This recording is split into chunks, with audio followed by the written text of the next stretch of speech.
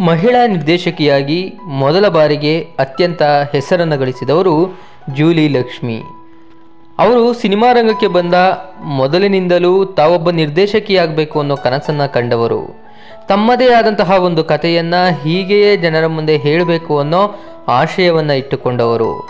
ಹೀಗಾಗಿಯೇ ಅವರು ಮೊದಲ ಬಾರಿಗೆ ನಿರ್ದೇಶನಕ್ಕೆ ಇಳಿತಾರೆ. ತಾವು ನಿರ್ದೇಶನ ಮಾಡುವ ಮೊದಲ ಸಿನಿಮಾಗೆ ಯಾರು ನಾಯಕರಾಗಬೇಕು? ಯಾಕಂದರೆ ಜೂಲಿ ಲಕ್ಷ್ಮಿಯವರಿಗೆ ಅಲ್ಲಿಗಾಗಲೇ ಡಾಕ್ಟರ್ ರಾಜ್ಕುಮಾರ್, ಡಾಕ್ಟರ್ ವಿಷ್ಣುವರ್ಧನ್ ಅಂಬರೀಶ್ ಶ್ರೀನಾಥ್ ಶಂಕರ್ ನಾಗ್ ಎಲ್ಲರೂ ಕೂಡ ಅತ್ಯಂತ ಆಪ್ತಾರೆ. ಆದರೆ ತಮ್ಮ ಒಂದು ಕತೆಗೆ ಯಾರು ಹೆಚ್ಚು ಸೂಕ್ತರಾಗ್ತಾರೆ? ಅದೂ ಅಲ್ಲದೆ ಅಲ್ಲಿಯವರೆಗೆ ಒಬ್ಬ ಮಹಿಳಾ ನಿರ್ದೇಶಕಿಯ ಕೈಯಲ್ಲಿ ಯಾವೊಬ್ಬ ಸೂಪರ್ ಸ್ಟಾರ್ ಕೂಡ ನಿರ್ದೇಶನಕ್ಕೆ ಒಳಗಾಗಿರಲಿಲ್ಲ. ಯಾರಿಗೆ ನಿರ್ದೇಶನವನ್ನು ಮಾಡಿದರೆ ತಾವು ಫಲಪ್ರದವನ್ನು ಕಾಣಬಹುದು ಮತ್ತು ತಮ್ಮನ್ನ ಮತ್ತು ತಮ್ಮ ಪ್ರತಿಭೆಯನ್ನು ಯಾರು ಗುರುತಿಸ್ತಾರೆ? ಈ ಬಗ್ಗೆ ಜೂಲಿ ಲಕ್ಷ್ಮಿಯವರು ಯೋಚನೆ ಮಾಡಿ ಒಂದು ಕಥೆಯನ್ನು ಆಯ್ಕೆ ಮಾಡಿಕೊಳ್ತಾರೆ. ಆ ಕತೆಗೆ ಸೂಕ್ತವಾಗುವಂತಹ ನಾಯಕ ಡಾಕ್ಟರ್ ವಿಷ್ಣುವರ್ಧನ್ ಅವರು. ವಿಷ್ಣುವರ್ಧನ್ ಅವರು ಅಲ್ಲಿಗಾಗಲೇ ಬಹಳಷ್ಟು ವೈವಿಧ್ಯಮಯ ಪಾತ್ರಗಳಲ್ಲಿ ಕಾಣಿಸಿಕೊಂಡಿದ್ರು, ಅತ್ಯಂತ ಯಶಸ್ವಿ ಸಿನಿಮಾಗಳನ್ನು ನೀಡಿದರು, ಆದರೆ ಪ್ರಶ್ನೆ ಬಂದಿದ್ದು ಅದಲ್ಲ. ವಿಷ್ಣುವರ್ಧನ್ ಅವರು ಆ್ಯಂಗ್ರಿ ಯಂಗ್ಮೆನ್ ಲುಕ್ನಲ್ಲಿ ಜನರಿಗೆ ಪರಿಚಯವಾಗಿದ್ದರು ಈಗ ಈ ಸಿನಿಮಾವನ್ನು ಹೇಗೆ ಒಪ್ಪಿಕೊಳ್ತಾರೆ? ಇದು ಫ್ಯಾಮಿಲಿ ಮೆಲೋ ಡ್ರಾಮಾ ಜೊತೆಗೆ ಕಾಮಿಡಿ ಕಥಾಹಂದರವಿರುವಂತಹ ಸಿನಿಮಾ. ಈ ಸಿನಿಮಾವನ್ನು ನಿಜಕ್ಕೂ ಒಪ್ಪಿಕೊಳ್ತಾರಾ? ಈ ಪ್ರಶ್ನೆ ಜೂಲಿ ಲಕ್ಷ್ಮಿಯವರಿಗೆ ಕಾಡಿತ್ತೇನೋ. ಆದರೆ ಯಾವಾಗ ಡಾಕ್ಟರ್ ವಿಷ್ಣುವರ್ಧನ್ ಅವರ ಬಳಿ ಹೋಗ್ತಾರೋ, ಅದರಲ್ಲೂ ಮುಖ್ಯವಾಗಿ ಡಾಕ್ಟರ್ ವಿಷ್ಣುವರ್ಧನ್ ಅಂತಹ ಸೂಪರ್ ಸ್ಟಾರ್ ಒಬ್ಬ ಲೇಡಿ ಡೈರೆಕ್ಟರ್ ಕೈ ಕೆಳಗಡೆ ಕೆಲಸ ಮಾಡೋದಕ್ಕೆ ಇಷ್ಟಪಡ್ತಾರಾ? ಈ ಒಂದು ಪ್ರಶ್ನೆಯು ಎದ್ದಿತ್ತು.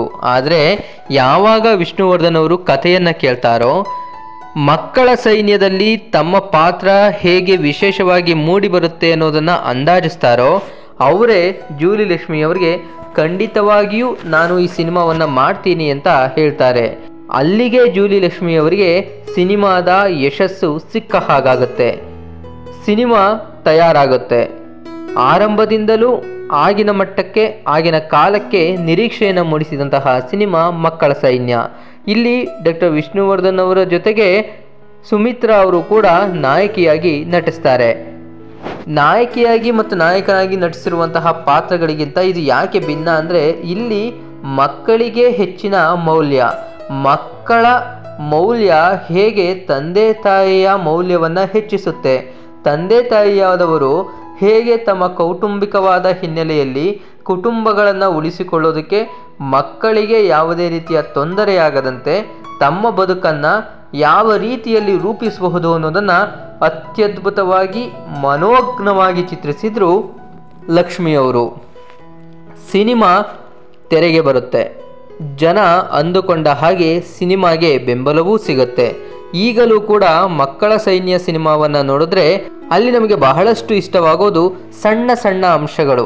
ಮಕ್ಕಳು ಕಿತ್ಲಾಡೋದು, ಅವರ ಮಕ್ಕಳು ಇವರ ಮಕ್ಕಳು ಕಿತ್ಲಾಡೋದು ಆರಂಭದಲ್ಲಿ ವಿಷ್ಣುವರ್ಧನ್ ಅವರು ಈಕೆಯ ಮಕ್ಕಳೇ ಇವರು ಅಂತ ತಪ್ಪಾಗಿ ಅರ್ಥೈಸೋದು. ಆಮೇಲೆ ಅಕ್ಕನ ಮಕ್ಕಳು ಅಂತ ಗೊತ್ತಾದಾಗ ಆಕೆಯೊಂದಿಗೆ ತಮ್ಮದೂ ಕೂಡ ಒಂದು ಮಗು ಇರಲಿ ಅಂತ ಪ್ರಯತ್ನ ಪಡೋದು. ಆದರೆ ಆ ಸಂದರ್ಭದಲ್ಲಿ ಉಂಟಾಗುವಂತಹ ಹಾಸ್ಯ ದೃಶ್ಯಗಳು, ಸನ್ನಿವೇಶಗಳು, ಇವೆಲ್ಲವನ್ನು ಕೂಡ ಲಕ್ಷ್ಮಿ ಅವರು ತುಂಬಾ ಸೂಕ್ಷ್ಮವಾಗಿ ಮತ್ತು ಅಷ್ಟೇ ನವಿರಾಗಿ ಹಾಗೂ ಹಾಸ್ಯಮಯವಾಗಿ ಹೇಳಿಸಿದ್ರು ಮತ್ತು ಚಿತ್ರಿಸಿದ್ರು.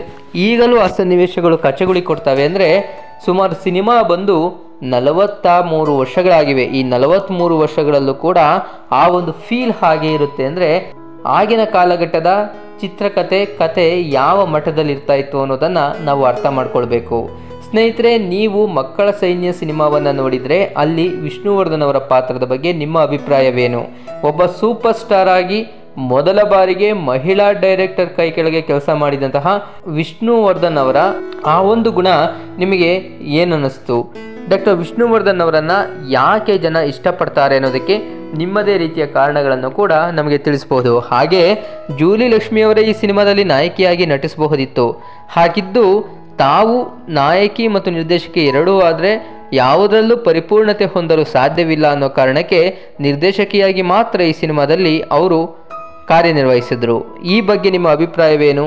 ಲಕ್ಷ್ಮಿ ಮತ್ತು ವಿಷ್ಣುವರ್ಧನ್ ಅವರ ಜೋಡಿಯ ಬಗ್ಗೆ ನಿಮ್ಮ ಅಭಿಪ್ರಾಯವೇನು ಅನ್ನೋದನ್ನು ನಮ್ಮೊಂದಿಗೆ ಹಂಚಿಕೊಳ್ಳಬಹುದು ಗೆಳೆಯರೇ, ನಮ್ಮ ಮಾಹಿತಿ ನಿಮ್ಗೆ ಇಷ್ಟವಾಗಿದ್ದರೆ ತಕ್ಷಣವೇ ನಮ್ಮ ಚಾನಲ್ಗೆ ಸಬ್ಸ್ಕ್ರೈಬ್ ಮಾಡಿ ಹಾಗೆಯೇ ನಮ್ಮ ಮತ್ತೊಂದು ವಾಹಿನಿ ಲಿಟಲ್ ಕಿಡ್ಸ್ ಅದನ್ನು ನೋಡಿ ಪ್ರೋತ್ಸಾಹಿಸಿ.